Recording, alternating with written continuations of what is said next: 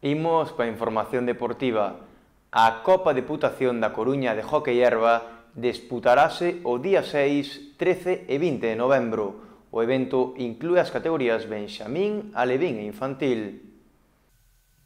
A deputada de Deportes Cristina Capelán presentou hoxe unha nova edición da Copa Deputación da Coruña de Hockey Herba que se celebrará os días 6, 13 e 20 de novembro.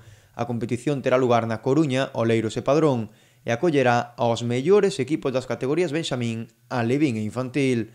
O ente provincial e a Federación Galega de Hockey organizan este evento co fin de impulsar e promocionar esta modalidade e situar o deporte galego na vanguarda.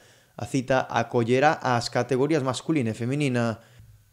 Os equipos participantes desta vez serán o Club Santo Domingo de Padrón a Asociación Deportiva Cristo Rei de Oleiros, Athletic Coruña Hockey e Escola Hockey da Coruña.